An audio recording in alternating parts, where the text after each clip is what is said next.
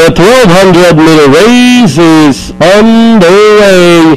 We have King and Prince draws for your lead. Freaky is right behind in second. Then moving up Queen Elisabetta to a birthday gift running the outside. Batong buhay in between runners.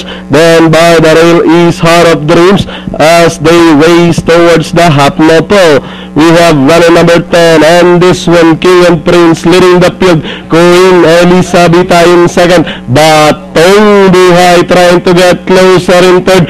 Freaky in between runners on the outside is birthday gift as they rounded a 600 King and Prince still leading the field Queen Elisabetta about to throw the challenge the outside so was birthday gift Freaky in between runners and in 30 on stretch King and Prince is still leading the field by about two lengths running on the outside is Queen Elisabetta birthday gift Freaky Batong Buhay with 150 to go.